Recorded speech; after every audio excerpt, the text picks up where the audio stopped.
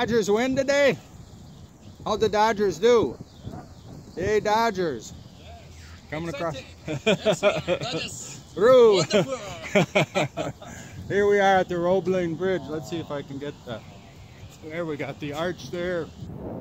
Okay. 1865. Wow. Older than I thought then. Yeah. Then we get some of the bridge in there. We're fine. We can get you in there. We got a Cincinnati Reds fan.